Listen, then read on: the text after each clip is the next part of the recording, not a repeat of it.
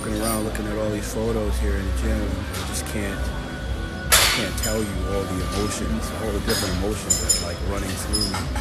Um, particularly, you know, this is the evening that, uh, yeah, this is uh, said to be Kevin Levrone's last uh, competition, last time on stage, you know, competing um, right here in Australia Classic.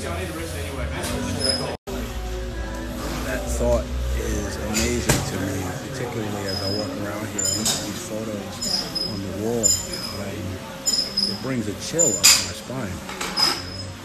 Um, crazy.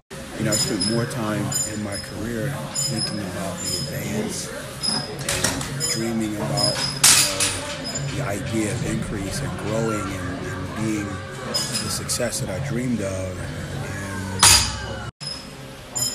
Know Kevin Levrone did the same thing. You know,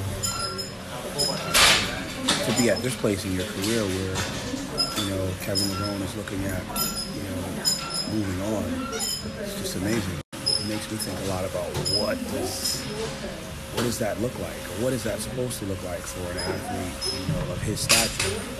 You know, um, I never really thought about those things like being unique, like you know, like growth is important. So shout out to Kevin Levrone for for all the growing that you've done um, and shared with us and allowed us to see. You know, right. Icon right here. Whoa. Turn that camera Real down. sad. Let me be fanboy for a minute real quick. Oh. Kevin Levrone, that is what's That's up. right. Congratulations, sir. Thank you,